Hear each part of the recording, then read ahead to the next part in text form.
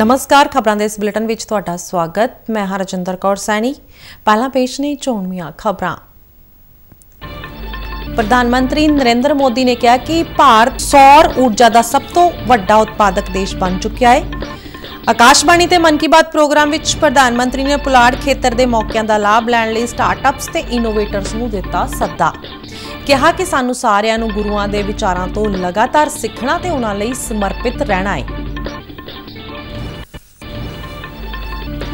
ਪਰਾਲੀ ਸਾੜਨ ਦੀਆਂ ਘਟਨਾਵਾਂ ਰੋਕਣ ਵਿੱਚ ਲਾਪਰਵਾਹੀ ਲਈ ਪੰਜਾਬ ਸਰਕਾਰ ਨੇ ਚਾਰ ਅਧਿਕਾਰੀਆਂ ਨੂੰ ਕੀਤਾ ਸਸਪੈਂਡ।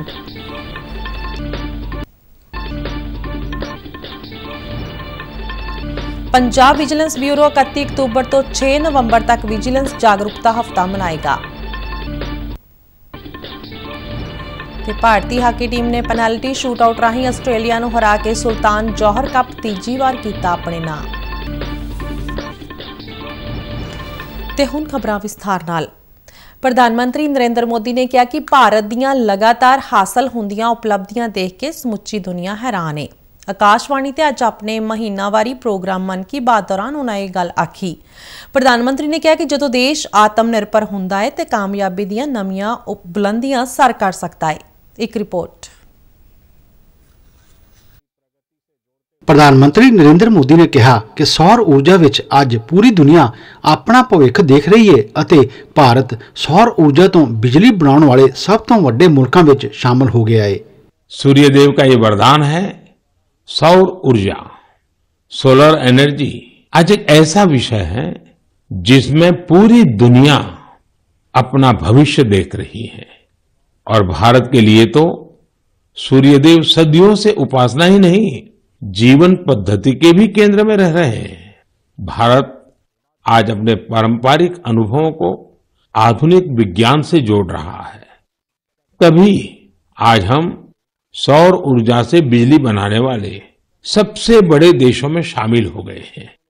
सौर ऊर्जा से कैसे हमारे देश के गरीब और मध्यम वर्ग के जीवन में बदलाव आ रहा है, वो भी अध्ययन का विषय है।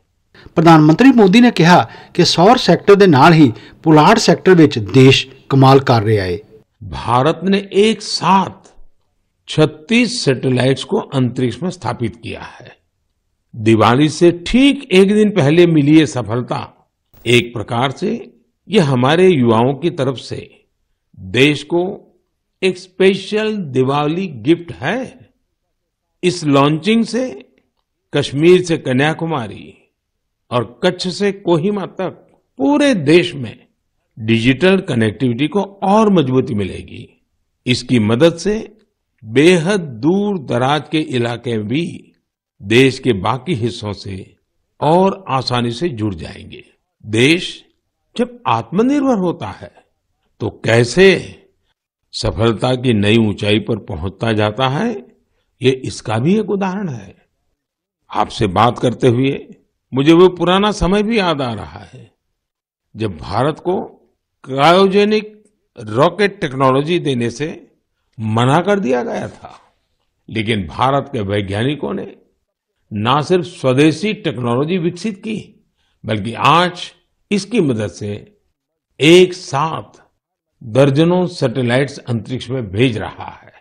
इस लॉन्चिंग के साथ भारत ग्लोबल कॉमर्शियल मार्केट में एक मजबूत प्लेयर बनकर उभरा है इससे अंतरिक्ष के क्षेत्र में भारत के लिए ਅਵਸਰਾਂ ਕੇ ਨਏ ਦਵਾਰ ਵੀ ਖੁੱਲੇ ਹਨ ਪ੍ਰਧਾਨ ਮੰਤਰੀ ਨੇ ਕਿਹਾ ਕਿ ਵਾਤਾਵਰਣ ਦੀ ਰਾਖੀ ਲਈ ਲੋਕਾਂ ਵਿੱਚ ਵੱਧਦੇ ਉਤਸ਼ਾਹ ਨੂੰ ਦੇਖ ਕੇ ਖੁਸ਼ੀ ਹੁੰਦੀ ਹੈ मैं देश के अलग अलग हिस्सों में पर्यावरण संरक्षण को लेकर बढ़ रहे उत्साह को देकर बहुत ही खुश हूं कुछ दिन पहले ही भारत में पर्यावरण की रक्षा के लिए समर्पित मिशन लाइफ को भी लॉन्च किया गया है मिशन लाइफ का सीधा सिद्धांत है ऐसी जीवन शैली ऐसी लाइफस्टाइल को बढ़ावा जो पर्यावरण को नुकसान न पहुंचाए मेरा आग्रह है कि आप भी मिशन लाइफ को जानिए उसे अपनाने का प्रयास कीजिए ਸਰਦਾਰ ਵੱਲਭ ਭਾਈ ਪਟੇਲ ਦੀ ਜਨਮ ਜਯੰਤੀ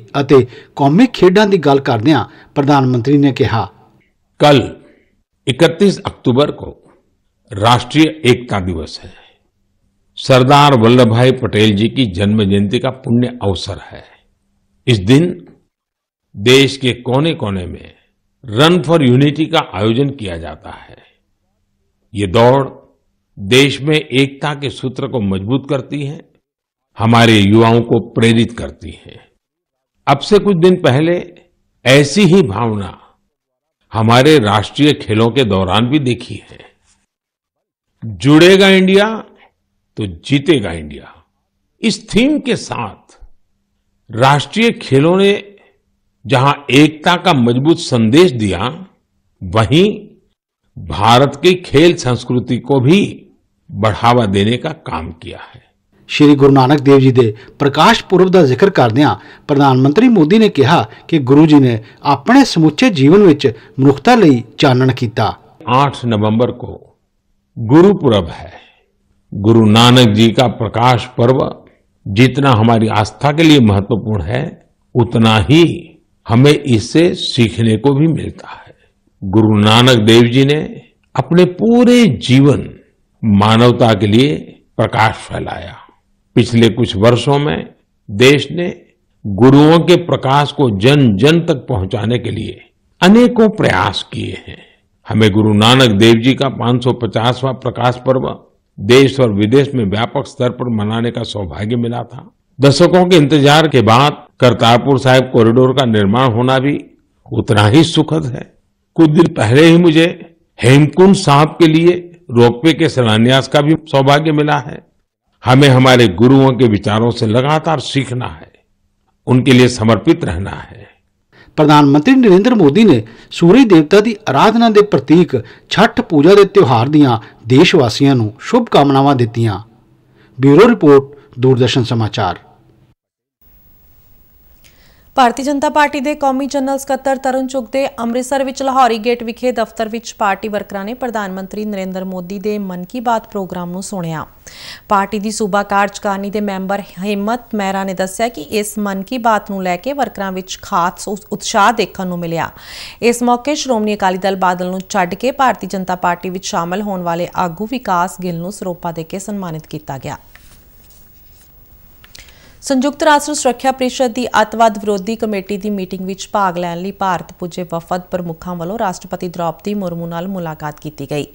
ਰਾਸ਼ਟਰਪਤੀ ਭਵਨ ਵਿਖੇ ਹੋਈ ਮੁਲਾਕਾਤ ਦੌਰਾਨ ਰਾਸ਼ਟਰਪਤੀ ਦ੍ਰੌਪਦੀ ਮੁਰਮੂ ਨੇ ਅੱਤਵਾਦ ਦੇ ਵਿਰੁੱਧ ਉਹਨਾਂ ਦੇ ਯਤਨਾਂ ਦੀ ਸ਼ਲਾਘਾ ਕੀਤੀ। ਰਾਸ਼ਟਰਪਤੀ ਨੇ ਕਿਹਾ ਕਿ ਭਾਰਤ ਦੁਨੀਆ ਦਾ ਸਭ ਤੋਂ ਵੱਡਾ ਲੋਕਤੰਤਰ ਹੈ, ਜਿਸ ਨੇ ਲੰਮੇ ਸਮੇਂ ਤੋਂ ਅੱਤਵਾਦ ਦਾ ਸੰਦਾਪ ਹਟਾਇਆ ਹੈ। ਸੰਯੁਕਤ ਰਾਸ਼ਟਰ ਵਿੱਚ ਭਾਰਤ ਦੀ ਸਥਾਈ ਨੁਮਾਇੰਦਗੀ ਕਰਨ ਵਾਲੀ ਅੰਬੈਸਡਰ ਰੁਚੀਰਾ ਕੰਬੋਜ ਨੇ ਸੰਯੁਕਤ ਰਾਸ਼ਟਰ ਕਮੇਟੀ ਦੇ ਕਾਰਜਸ਼ੀਲਤਾ ਅਤੇ ਤਰਜੀਹਾਂ ਨੂੰ ਰਾਸ਼ਟਰਪਤੀ ਨੂੰ ਜਾਣੂ ਕਰਵਾਇਆ।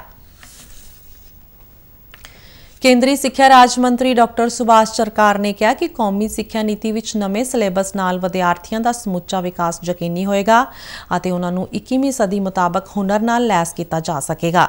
ਨਵੀਂ ਦਿੱਲੀ ਵਿੱਚ ਇੱਕ ਸਮਾਗਮ ਦੌਰਾਨ ਉਹਨਾਂ ਕਿਹਾ ਕਿ ਨਵੀਂ ਸਿੱਖਿਆ ਨੀਤੀ ਵਿੱਚ ਸਿੱਖਣ ਦੀ ਵਿਵਹਾਰਕ ਅਤੇ ਪ੍ਰਯੋਗਿਕ ਸਿੱਖਿਆ ਤੇ ਉਚੇਚਾ ਧਿਆਨ ਦਿੱਤਾ ਜਾ ਰਿਹਾ ਹੈ ਪੰਜਾਬ ਵਿੱਚ ਪਰਾਲੀ ਸਾੜਨ ਦੀਆਂ ਘਟਨਾਵਾਂ ਰੋਕਣ ਵਿੱਚ ਲਾਪਰਵਾਹੀ ਵਰਤਣ ਵਾਲੇ ਖੇਤੀਬਾੜੀ ਮਹਿਕਮੇ ਦੇ ਚਾਰ ਅਧਿਕਾਰੀਆਂ ਨੂੰ ਸਰਕਾਰ ਨੇ ਸਸਪੈਂਡ ਕਰ ਦਿੱਤਾ ਹੈ ਖੇਤੀਬਾੜੀ ਮੰਤਰੀ ਕੁਲਦੀਪ ਸਿੰਘ ਧਾਲੀਵਾਲ ਨੇ ਦੱਸਿਆ ਕਿ ਮੁੱਖ ਮੰਤਰੀ ਦੀਆਂ ਹਦਾਇਤਾਂ ਤੇ ਇਹ ਕਾਰਵਾਈ ਕੀਤੀ ਗਈ ਹੈ ਸਸਪੈਂਡ ਕੀਤੇ ਗਏ ਅਧਿਕਾਰੀਆਂ ਵਿੱਚ ਸੰਗਰੂਰ ਦੇ ਮੁੱਖ ਖੇਤੀਬਾੜੀ ਅਫਸਰ ਸਮਾਣਾ ਚੋਲਾ ਸਾਹਿਬ ਅਤੇ ਪੱਟੀ ਦੇ ਖੇਤੀਬਾੜੀ ਅਫਸਰ ਸ਼ਾਮਿਲ ਨੇ।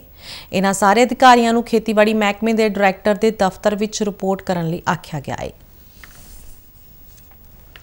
ਵਿਜੀਲੈਂਸ ਬਿਊਰੋ ਨੇ ਸਾਬਕਾ ਮੰਤਰੀ ਵਿਜੇ ਇੰਦਰ ਸਿੰਗਲਾ ਦੇ ਖਿਲਾਫ ਜਾਂਚ ਸ਼ੁਰੂ ਕਰ ਦਿੱਤੀ ਹੈ। ਸੂਤਰਾਂ ਵੱਲੋਂ ਦਿੱਤੀ ਗਈ ਜਾਣਕਾਰੀ ਮੁਤਾਬਕ ਵਿਜੀਲੈਂਸ ਸਾਬਕਾ ਮੰਤਰੀ ਦੇ ਖਿਲਾਫ ਸਰੋਤਾਂ ਤੋਂ ਵੱਧ ਆਮਦਨੀ ਦੇ ਮਾਮਲੇ ਵਿੱਚ ਜਾਂਚ ਕਰ ਰਹੀ ਹੈ ਅਤੇ ਉਹਨਾਂ ਦੇ ਆਮਦਨੀ ਵਸੀਲਿਆਂ ਦੀ ਪੜਤਾਲ ਕੀਤੀ ਜਾ ਰਹੀ ਹੈ। ਵਿਜੀਲੈਂਸ ਦਾ ਕਹਿਣਾ ਹੈ ਕਿ ਜਾਂਚ ਪੂਰੀ ਹੋਣ ਤੋਂ ਬਾਅਦ ਅਗਲੀ ਕਾਰਵਾਈ ਕੀਤੀ ਜਾਏਗੀ। ਇਸ ਦੌਰਾਨ ਪੰਜਾਬ ਵਿਜੀਲੈਂਸ ਬਿਊਰੋ ਵੱਲੋਂ ਭਲਕੇ 31 ਅਕਤੂਬਰ ਤੋਂ 6 ਨਵੰਬਰ ਤੱਕ ਸੂਬੇ ਵਿੱਚ ਵਿਜੀਲੈਂਸ ਜਾਗਰੂਕਤਾ ਹਫ਼ਤਾ ਮਨਾਇਆ ਜਾਏਗਾ। ਵਿਜੀਲੈਂਸ ਬਿਊਰੋ ਦੇ ਇੱਕ ਬੁਲਾਰੇ ਨੇ ਦੱਸਿਆ ਕਿ ਜਾਗਰੂਕਤਾ ਹਫ਼ਤੇ ਦੇ ਪਹਿਲੇ ਦਿਨ ਵਿਜੀਲੈਂਸ ਭਵਨ ਵਿਖੇ ਅਧਿਕਾਰੀਆਂ ਤੇ ਕਰਮਚਾਰੀਆਂ ਨੂੰ ਸਹੁੰ ਚੁਕਾਈ ਜਾਏਗੀ। ਉਹਨਾਂ ਕਿਹਾ ਕਿ ਇਸ ਹਫ਼ਤੇ ਦੌਰਾਨ ਬਿਊਰੋ ਦੀਆਂ ਸਾਰੀਆਂ ਰੇਂਜਾਂ ਅਤੇ ਯੂਨਿਟਾਂ ਇਸ ਸਾਲ ਲਈ ਕੇਂਦਰੀ ਵਿਜੀਲੈਂਸ ਕਮਿਸ਼ਨ ਵੱਲੋਂ ਐਲਾਨੇ ਗਏ ਭ੍ਰਿਸ਼ਟਾਚਾਰ ਮੁਕਤ ਭਾਰਤ, ਵਿਕਸਿਤ ਭਾਰਤ ਦੇ ਸੁਨੇਹੇ ਨੂੰ ਫੈਲਾਉਣ ਲਈ ਸੂਬੇ ਭਰ ਵਿੱਚ ਜਾਗਰੂਕਤਾ ਮੁਹਿੰਮਾਂ ਚਲਾਈਆਂ ਜਾਣਗੀਆਂ। 100 ਸਾਲ ਪਹਿਲਾਂ ਵਾਪਰੇ ਸ਼ਹੀਦੀ ਸਾਕਾ ਸ਼੍ਰੀ ਪੰਜਾ ਸਾਹਿਬ ਦੀ ਸ਼ਤਾਬਦੀ ਦਾ ਮੁੱਖ ਸਮਾਗਮ ਪਾਕਿਸਤਾਨ ਸਥਿਤ ਗੁਰਦੁਆਰਾ ਸ਼੍ਰੀ ਪੰਜਾ ਸਾਹਿਬ ਵਿਖੇ ਅੱਜ ਹੋਇਆ।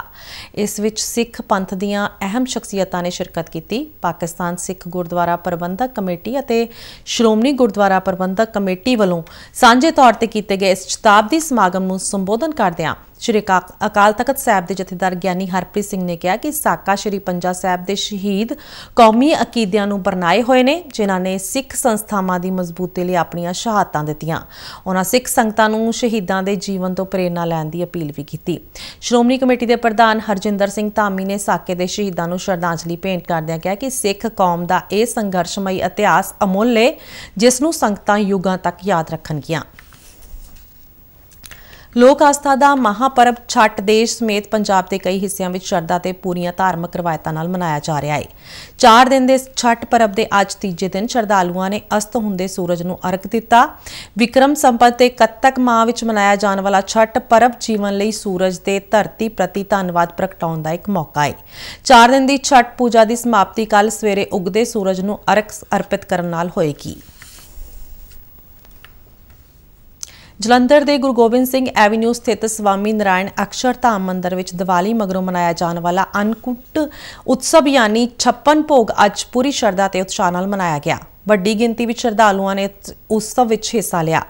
ਬੀਏਪੀ ਐਸ ਸਵਾਮੀ ਨਾਰਾਇਣ ਸੰਪਰਦਾਇ ਦੇ ਪ੍ਰਗਟ ਗੁਰੂ ਮਹੰਤ ਸਵਾਮੀ ਮਹਾਰਾਜ ਜੀ ਦੇ ਮਾਰਗਦਰਸ਼ਨ ਵਿੱਚ ਦੁਨੀਆ ਭਰ ਦੇ 1200 ਤੋਂ ਵੱਧ ਸਵਾਮੀ ਨਾਰਾਇਣ ਮੰਦਰਾਂ ਵਿੱਚ ਇਹ ਅਨਕੁੰਟ ਉਤਸਵ ਮਨਾਇਆ ਗਿਆ। ਮੰਦਰ ਦੇ ਪ੍ਰਤੀਨਿਧ ਦਿਨੇਸ਼ ਪਟੇਲ ਨੇ ਦੱਸਿਆ ਕਿ ਇਹ ਉਤਸਵ ਸੁੰਦਰ ਗੋਵਰਧਨ ਪਰਬਤ ਦੀ ਪੂਜਾ ਨਾਲ ਸ਼ੁਰੂ ਹੋਇਆ। ਜੈ ਤੀਰਥ ਸਵਾਮੀ ਨੇ ਅਨਕੁਟ ਦੇ ਇਤਿਹਾਸ ਅਤੇ ਇਸ ਦੀ ਮਹਿਮਾ ਤੇ ਚਾਨਣਾ ਪਾਇਆ। ਅਨਕੁਟ ਦੀ ਪਹਿਲੀ ਆਰਤੀ ਦੇ ਵੇਲੇ ਤੋਂ ਹੀ ਮੰਦਰ ਵਿੱਚ ਸ਼ਰਧਾਲੂਆਂ ਦਾ ਤਾਂਤਾ ਲੱਗਿਆ ਰਿਹਾ। ਭਾਰਤ ਹਾਕੀ ਟੀਮ ਨੇ ਆਸਟ੍ਰੇਲੀਆ ਨੂੰ ਪੈਨਲਟੀ ਸ਼ੂਟਆਊਟ ਵਿੱਚ 5-4 ਦੇ ਫ਼ਰਕ ਨਾਲ ਹਰਾ ਕੇ ਤੀਜੀ ਵਾਰ ਸੁਲਤਾਨ ਜੋਹਰ ਕੱਪ ਆਪਣੇ ਨਾਂ ਕੀਤਾ ਹੈ ਮਲੇਸ਼ੀਆ ਵਿੱਚ ਖੇਡੇ ਗਏ 10ਵੇਂ ਸੁਲਤਾਨ ਜੋਹਰ ਕੱਪ ਦੇ ਫਾਈਨਲ ਮੁਕਾਬਲੇ ਵਿੱਚ ਨਿਰਧਾਰਤ ਸਮੇਂ ਵਿੱਚ ਦੋਵੇਂ ਟੀਮਾਂ ਇੱਕ ਇੱਕ ਦੀ ਬਰਾਬਰੀ ਤੇ ਰਹੀਆਂ ਤੇ 30 ਮਿੰਟਾਂ ਦੇ ਵਾਧੂ ਸਮੇਂ ਵਿੱਚ ਵੀ ਕੋਈ ਵੀ ਟੀਮ ਜੇਤੂ ਗੋਲ ਨਾ ਕਰ ਸਕੀ। ਅਖੀਰ ਵਿੱਚ ਪੈਨਲਟੀ ਸ਼ੂਟਆਊਟ ਰਾਹੀਂ ਮੈਚ ਦਾ ਨਿਰਣਾ ਕੀਤਾ ਗਿਆ। ਸੁਲਤਾਨ ਜੋਹਰ ਕੱਪ ਕੋਵਿਡ ਮਹਾਮਾਰੀ ਕਾਰਨ 2 ਸਾਲਾਂ ਦੇ ਬਕਵੇ ਬਾਅਦ ਕਰਵਾਇਆ ਗਿਆ ਸੀ। ਟੀ20 ਵਿਸ਼ਵ ਕੱਪ 'ਤੇ ਅੱਜ ਖੇਡੇ ਜਾ ਰਹੇ ਇੱਕ ਲੀਗ ਮੈਚ ਵਿੱਚ ਭਾਰਤ ਨੇ ਸਾਊਥ ਅਫਰੀਕਾ ਨੂੰ ਜਿੱਤ ਲਈ 134 ਦੌੜਾਂ ਦਾ ਟੀਚਾ ਦਿੱਤਾ ਹੈ ਪਹਿਲਾਂ ਬੱਲੇਬਾਜ਼ੀ ਕਰਦਿਆਂ ਭਾਰਤੀ ਟੀਮ ਨੇ 20 ਓਵਰਾਂ ਵਿੱਚ 9 ਖਿਡਾਰੀਆਂ ਪਿੱਛੇ 133 ਦੌੜਾਂ ਬਣਾਈਆਂ, ਜਿਸ ਵਿੱਚ ਸੂਰਿਆ ਕੁਮਾਰ ਯਾਦਵ ਦੀਆਂ ਸ਼ਾਨਦਾਰ 68 ਦੌੜਾਂ ਵੀ ਸ਼ਾਮਿਲ ਨੇ। ਭਾਰਤ ਨੇ ਟਾਸ ਜਿੱਤ ਕੇ ਪਹਿਲਾਂ ਖੇਡਣ ਦਾ ਫੈਸਲਾ ਕੀਤਾ, ਪਰ ਭਾਰਤ ਦੇ ਮੁੱਖ ਬੱਲੇਬਾਜ਼ ਕੁਝ ਜ਼ਿਆਦਾ ਨਹੀਂ ਕਰ ਪਾਏ ਅਤੇ ਫਿਰ ਸੂਰਿਆ ਕੁਮਾਰ ਯਾਦਵ ਨੇ ਭਾਰਤੀ ਪਾਰੀ ਨੂੰ ਸੰਭਾਲਿਆ। ਆਮਦਨ ਕਰ ਮਹਿਕਮੇ ਵੱਲੋਂ ਬੀਐਸਐਫ ਦੇ ਸਹਿਯੋਗ ਨਾਲ ਅੰਮ੍ਰਿਤਸਰ ਜ਼ਿਲ੍ਹੇ ਵਿੱਚ ਅਟਾਰੀ ਲਾਗੇ ਪਿੰਡ ਭਰੋਪਾਲ ਵਿਖੇ ਕੱਲ ਬੂਟੇ ਲਗਾਏ ਜਾਣਗੇ। ਮਹਿਕਮੇ ਦੇ ਇੱਕ ਬੁਲਾਰੇ ਨੇ ਦੱਸਿਆ ਕਿ ਕੇਂਦਰੀ ਪ੍ਰਤੱਖ ਕਰ ਬੋਰਡ ਦੇ ਚੇਅਰਮੈਨ ਨਿਤਨ ਗੁਪਤਾ ਤੇ ਮੈਂਬਰ ਸੰਗੀਤਾ ਸਿੰਘ ਹੋਰ ਅਧਿਕਾਰੀਆਂ ਦੀ ਮੌਜੂਦਗੀ ਵਿੱਚ ਬੂਟੇ ਲਾਉਣਗੇ। ਇਹ ਬੂਟੇ ਸਵੱਛਤਾ ਸੰਬੰਧੀ ਚਲਾਈ ਜਾ ਰਹੀ ਵਿਸ਼ੇਸ਼ ਮੁਹਿੰਮ ਤਹਿਤ ਲਗਾਏ ਜਾਣਗੇ ਅਤੇ ਇਹਨਾਂ ਰਾਹੀਂ ਪਿੰਡ ਵਿੱਚ ਮਿੰਨੀ ਜੰਗਲ ਆਇਕਰ ਅਰਨਿਆ ਵਿਕਸਿਤ ਕੀਤਾ ਜਾਏਗਾ। ਖਬਰਾਂ ਦੇ ਬੁਲੇਟਿਨ ਸਾਡੇ ਦਰਸ਼ਕ ਆਰਐਨਯੂ ਡੀਡੀਕੇ ਜਲੰਧਰ ਦੇ YouTube ਚੈਨਲ, Facebook ਪੇਜ ਤੇ Twitter ਹੈਂਡਲ ਤੇ ਵੀ ਦੇਖ ਸਕਦੇ ਨੇ। ਤੇ ਬੁਲੇਟਿਨ ਦੇ ਅੰਤ ਵਿੱਚ ਚੋਣਵੀਆਂ ਖਬਰਾਂ ਇੱਕ ਵਾਰ ਫਿਰ ਤੋਂ। ਪ੍ਰਧਾਨ ਮੰਤਰੀ ਨਰਿੰਦਰ ਮੋਦੀ ਨੇ ਕਿਹਾ ਕਿ ਭਾਰਤ ਸੌਰ ਊਰਜਾ ਦਾ ਸਭ ਤੋਂ ਵੱਡਾ ਉਤਪਾਦਕ ਦੇਸ਼ ਬਣ ਚੁੱਕਿਆ ਹੈ। ਆਕਾਸ਼ਬਾਣੀ ਤੇ ਮਨ ਕੀ ਬਾਤ ਪ੍ਰੋਗਰਾਮ ਵਿੱਚ ਪ੍ਰਧਾਨ ਮੰਤਰੀ ਨੇ ਪੁਲਾੜ ਖੇਤਰ ਦੇ ਮੌਕਿਆਂ ਦਾ ਲਾਭ ਲੈਣ ਲਈ ਸਟਾਰਟਅਪਸ ਤੇ ਇਨੋਵੇਟਰਸ ਨੂੰ ਦਿੱਤਾ ਸੱਦਾ। ਕਿਹਾ ਕਿ ਸਾਨੂੰ ਸਾਰਿਆਂ ਨੂੰ ਗੁਰੂਆਂ ਦੇ ਵਿਚਾਰਾਂ ਤੋਂ ਲਗਾਤਾਰ ਸਿੱਖਣਾ ਤੇ ਉਹਨਾਂ ਲਈ ਸਮਰਪਿਤ ਰਹਿਣਾ ਹੈ। ਪਰਾਲੀ ਸਾੜਨ ਦੀਆਂ ਘਟਨਾਵਾਂ ਰੋਕਣ ਵਿੱਚ ਲਾਪਰਵਾਹੀ ਲਈ ਪੰਜਾਬ ਸਰਕਾਰ ਨੇ 4 ਅਧਿਕਾਰੀਆਂ ਨੂੰ ਕੀਤਾ ਸਸਪੈਂਡ। ਪੰਜਾਬ ਵਿਜੀਲੈਂਸ ਬਿਊਰੋ 31 ਅਕਤੂਬਰ ਤੋਂ 6 ਨਵੰਬਰ ਤੱਕ ਵਿਜੀਲੈਂਸ ਜਾਗਰੂਕਤਾ ਹਫਤਾ ਮਨਾਏਗਾ। ਤੇ ਭਾਰਤੀ ਹਾਕੀ ਟੀਮ ਨੇ ਪੈਨਲਟੀ ਸ਼ੂਟਆਊਟ ਰਾਹੀਂ ਆਸਟ੍ਰੇਲੀਆ ਨੂੰ ਹਰਾ ਕੇ ਸੁਲਤਾਨ ਜੋਹਰ ਕੱਪ ਤੀਜੀ ਵਾਰ ਕੀਤਾ ਆਪਣੇ ਨਾਂ। ਤੇ ਇਸ ਨਾਲ ਹੀ ਖਬਰਾਂ ਦਾ ਬੁਲੇਟਿਨ ਖਤਮ ਹੋਇਆ। ਇਜਾਜ਼ਤ ਦਿਓ। ਨਮਸਕਾਰ।